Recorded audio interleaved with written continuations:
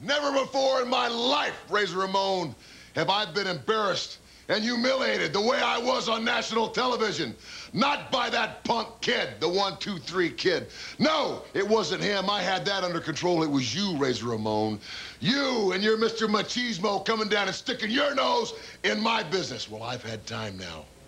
The match is signed, it's sealed, and I've had time to formulate this plan.